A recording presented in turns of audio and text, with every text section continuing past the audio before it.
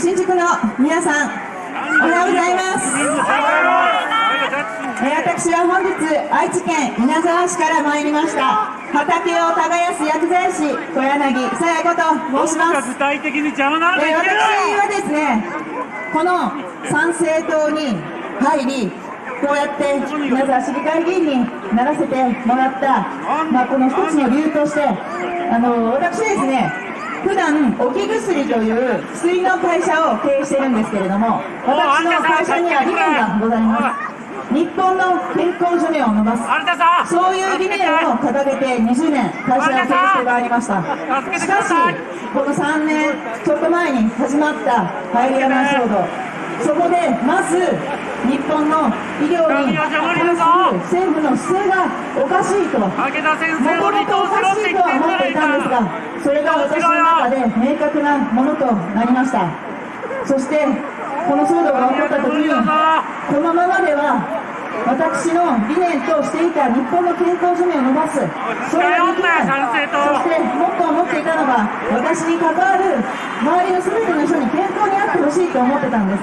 そのことが、これじゃ健康になるどころか、皆さん、日本の皆さんの健康が荒れる、これはやばいと思ったんです。そして今、日本の医療費、45兆円使われています。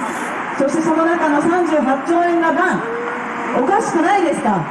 そしてどんどんどんどん医療費が上がっていってますそしてそれにプラス健康保険もどんどんどんどん上がっていってるんです私たちのこの健康保険一種の税金ですよね。この税金をこれだけ取っていてどうして私たちの健康が守れないのか。そして今薬の不足も問題となっております。特に咳止め今薬局で手に入らない。これも実は政策が問題なんです。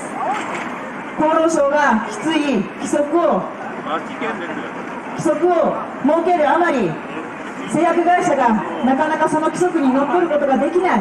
そして少しちょっと緩めてしまった時に査察に入りもう製造ができなくなる。さらに今の薬価の問題です。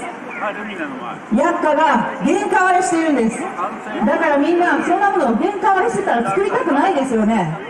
厚労省は自分たちで自分たちの日本の子をどんどんどんどん殺していってるんです。そして治すことすらさせてくれない。むしろ作っていってる。そういう現状があるということを皆様知っていただいてやはりこの現状を変えるために皆さん参政党という名前を知っていただきそして皆さん投票に必ず行ってください。皆さんの意見が日本を変えていきます。一緒に日本を変えましょう。ありがとうございました。小柳最後でした